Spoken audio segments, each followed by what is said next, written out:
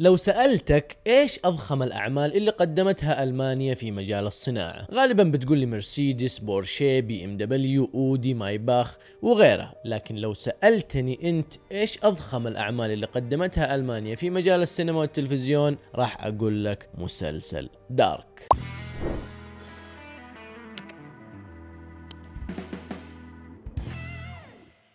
يا هلا والله بالجميع معاكم الوجيه واليوم راح ناخذ جولة سريعة على التحفة الألمانية المعقدة والجميلة جدا مسلسل دارك. المسلسل موجود على نتفليكس وهو من أهم أعمال نتفليكس الأصلية ومتوفر منه حاليا موسمين كاملة بالإضافة إلى موسم ثالث قادم خلال الشهر القادم. ولكل شخص ما تابع المسلسل خليك معنا ما راح يكون في حرق للأحداث وفي الوقت اللي بيصير في حرق للأحداث راح أعطيك خبر. مسلسل دارك كقصة يتكلم عن عدة عوائل تعيش في قرية صغيرة في ألمانيا. هذه العوائل بينهم صلات إما صداقة أو ماضي أو علاقات حب أو عداوات وغيره وكونك شخص حاب تبدأ تتابع المسلسل لازم تفتح مخك وتركز في الترابط اللي ما بين العائلات. لازم تعرف مين صديق مين ومين عدو مين ومين حبيب مين ومين ابن ومين أخ ومين أم ومين أب مين. لأنك راح تحتاج هذه المعرفة في المستقبل لما تتقدم في حلقات المسلسل. وقبل تتابع المسلسل لازم تفهم شيء مهم برضو. المسلسل مصنف على إنه دراما وغموض وجريمة فبناء القصة جدا هادي والأحداث راح تشوفها تمشي بطيئة في بداية المسلسل. وترى البطء في الأحداث ما هو عيب ابدا بالعكس هو حركة ذكية ومتقنة من صناع المسلسل. لأنهم عارفين إنه هذا العمل معقد جدا ويحتاجون يفهموك أكبر قدر من الأحداث والتفاصيل قبل تبدأ عاصفة الأحداث.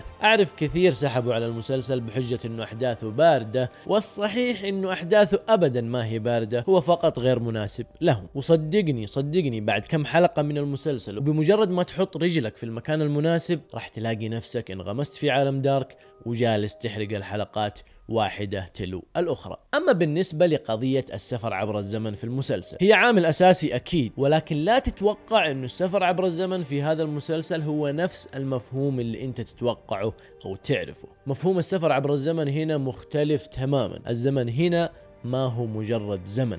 الزمن في هذا المسلسل أكثر تعقيدا من إنك تفهمه بسهولة. ومثل ما قال أحدهم مسلسل دارك ما هو مسلسل تتابعه. مسلسل دارك هو لغز قد يصعب عليك فهمه أو حله. فيب خليك مستعد وجهز ورقة وقلم لأنك في هالمسلسل أنت مش مجرد مشاهد أنت محقق. يسعد لي أم المحققين. أما بالنسبة للتمثيل التمثيل يا جماعة واحد من أقوى الأشياء اللي خلت المسلسل فعلا جدير بالمشاهدة. فسواء كنا نتكلم عن الشخصيات الطاعنة في السن أو الشخصيات المتوسطة في العمر أو الأطفال والمراهقين. أداء الجميع دون استثناء رائع وصعب جدا تلاقي فيه أي عيوب وأي ملاحظات. وجزئيه مهمة برضو ابهرتني بشكل جنوني في المسلسل. بعض الشخصيات اللي لها فلاش باك قد تظهر في فلاش باك في مراحل عمرية مختلفة وراح تصدمك. إيش اللي راح يصدمني بالضبط؟ طاقم عمل المسلسل كانوا حريصين إنهم يوفرون ممثلين يتشابهون مع بعض بشكل مرعب لدرجة إنك ممكن تقول what the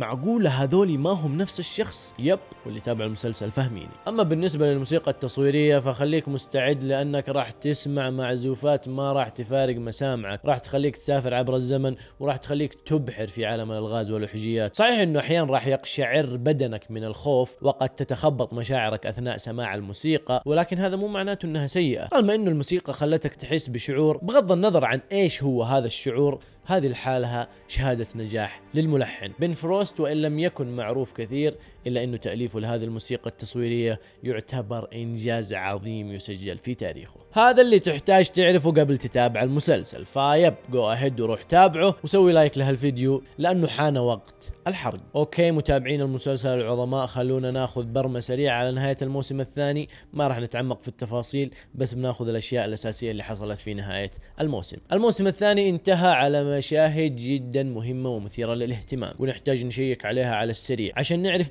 إيش ممكن يكون القادم؟ أول حاجة شفنا جوناس الكبير وماغنس وفرانسيسكا وبارتوس استخدموا آلة الزمن وسافروا لمكان ما نعرفه وعلى ما يبدو إنهم ما راح يموتون بسبب نهاية العالم لأنهم بيهربون بواسطة الآلة. وبرضو عندنا شارلوت اللي على ما يبدو إنها راحت للمستقبل المدمر عند بنتها اللي هي أصلا كبيرة في السن هناك يعني برضو ما راح تموت من نهاية العالم. بعد كذا عندنا كاترينا. أخ مسكينة كاترينا. شفناها تدخل للكهف؟ والله أعلم وين بينتهي فيها المطاف. إما في العام 1954 أو العام 1987 على حسب أي طريق تأخذ. وبرضه أكيد إنها راح تنجو من نهاية العالم. كمان عندنا بيتر وإليزابيث وكلوديا ونوح الصغير وريجينا واللي دخلوا في الملجأ اللي تحت الأرض. برضو ما راح يموتون من نهاية العالم. طبيعة الحال راح يخرجون للعالم المدمر في عام 2020 إلا لو حصل شيء ثاني. والأهم من هذا كله والشيء اللي يهمني ويهمك عزيزي المتابع جونس ومارثا الجديدة أو مارثا المستقبلية